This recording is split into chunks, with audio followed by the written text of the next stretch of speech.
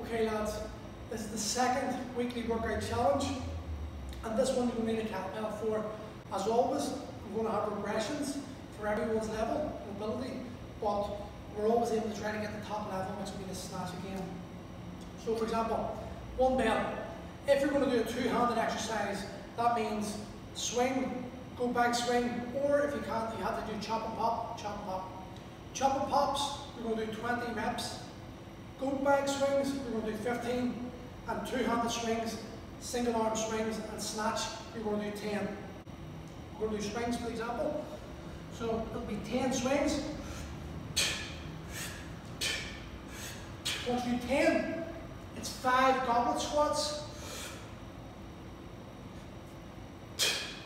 Once you do five goblet squats, it's five press.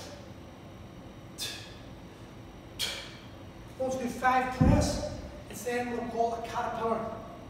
Very like an inchworm, except harder. Now, if you can't do these, of course do inchworms. So one caterpillar is this.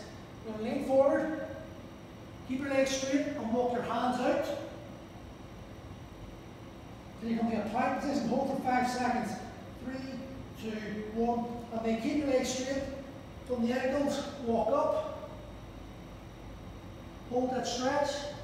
Four, three, two, one. Walk back. Five, four, three, two, one. Walk forward or walk back now. Five, four, three, two, one. And that's one caterpillar. If you can't do that, you're going to do five inch inchworms.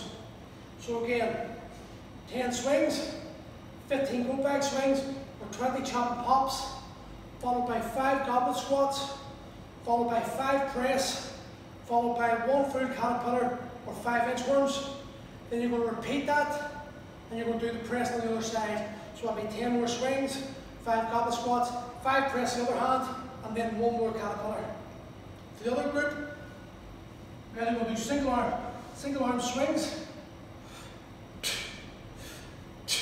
10. Then you're going to do the five offset squats.